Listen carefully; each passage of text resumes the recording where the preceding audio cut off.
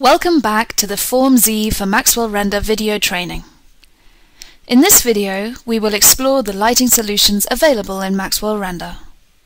First of all, hide the background object and the emitter planes to focus on the table and cups. Activate View 1 to get a close-up of the cups and the table. In the Display menu, open the Display Options window to get access to the Maxwell Render General Options panel. From here, you can control the main Maxwell Render parameters. In the Environment tab, you can choose between None, Sky Dome, and Physical Sky environments.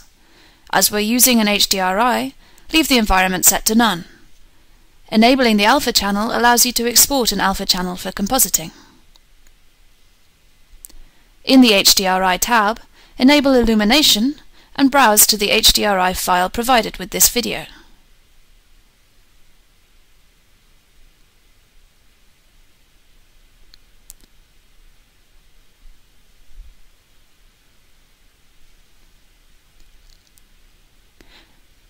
The HDR image will light your scene.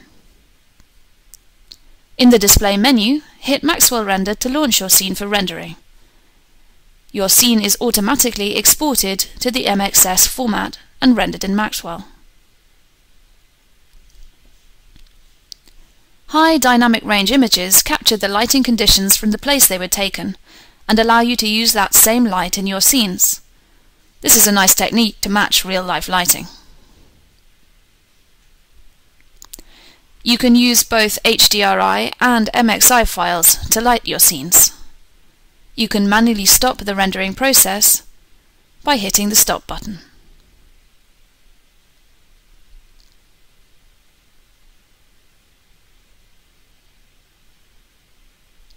Back in Form Z, open the Maxwell Options panel and enable the Sky Dome Environment mode. You can choose the dome color using the color picker.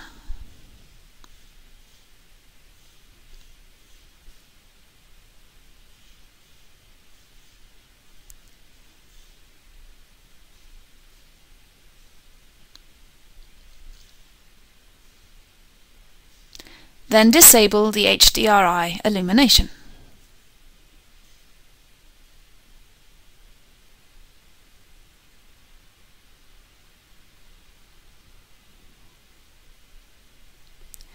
If you want your dome color to appear in the image as a background, disable the alpha channel checkbox.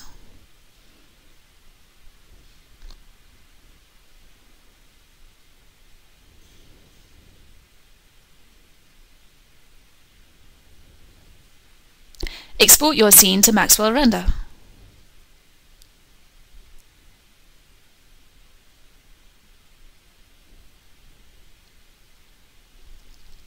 Play with the shutter and ISO sliders to adjust the exposure if your render looks too dark or too bright.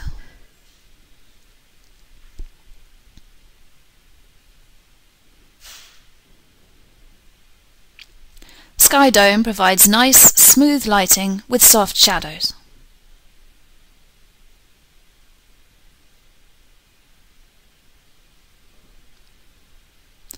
Rendering will continue until the render time is up, the desired sampling level has been reached, or until you manually stop it. Open the Maxwell Render Options panel again and choose the Physical Sky mode. You can use the parameters from the Form Z Sky or use the full Maxwell settings.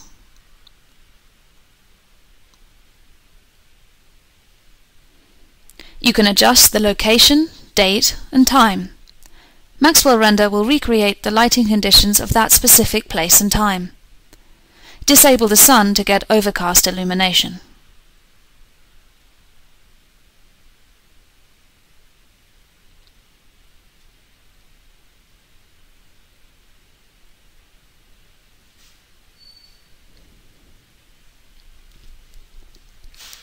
If the alpha channel checkbox is ticked, the render will be pre-multiplied over a black background. If alpha channel is disabled, you will see the sky in the render. Disable the HDRI environment and launch the scene to render.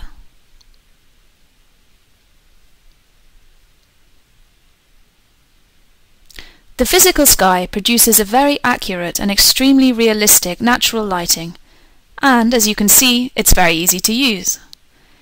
If necessary, you can control the atmospheric conditions of the sky even further.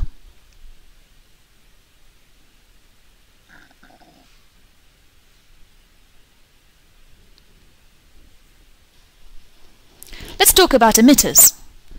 Unhide the background and the emitter layers. In Maxwell Render, light is emitted from actual geometry with an emitter material applied. A simple plane is enough in most cases. Assign an emitter a material to the planes, and we'll explain how to create and manage materials in the next video.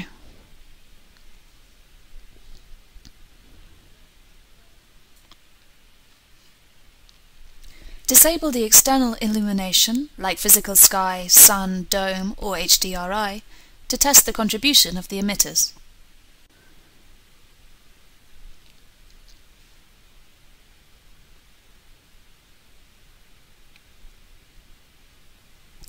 Enable the close-up view to get a close-up shot, and hit Maxwell Render.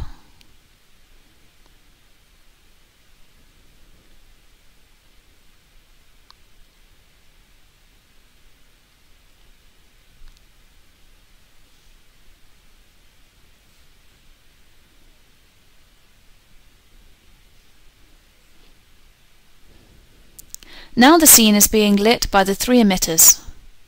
You can control the light color and the light power in watts, just like in real lamps, by editing the emitter material.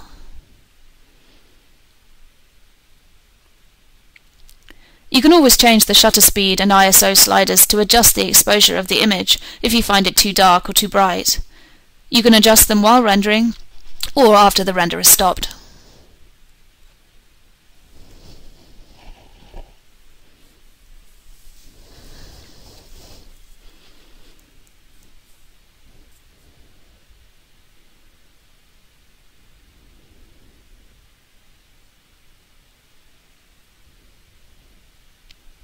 You can control the light intensity of the emitters by enabling multi-light. Enable it in the Maxwell Options panel.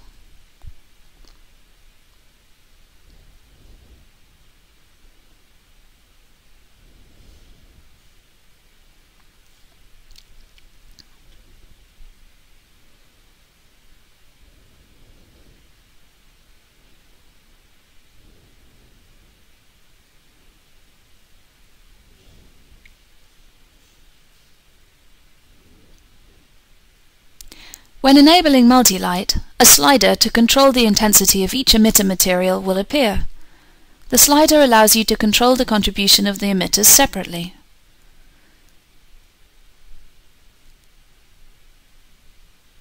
We applied the same emitter material to the three planes, so one single slider appears to control them all. If you want to adjust each emitter separately, you should apply a different emitter material to each plane.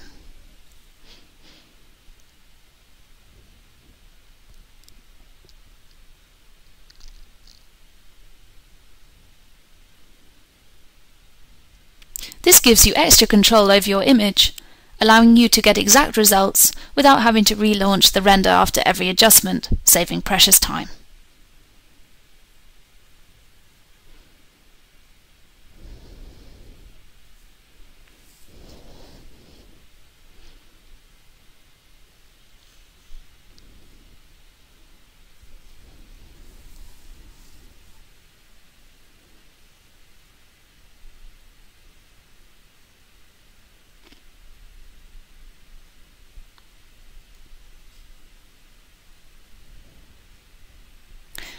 In the Maxwell Options panel, you will find a tab to adjust the camera parameters. Maxwell cameras work like real-life cameras.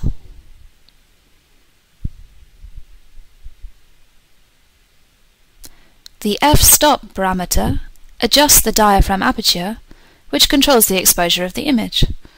This parameter also allows you to control the depth of field, or DOF effect.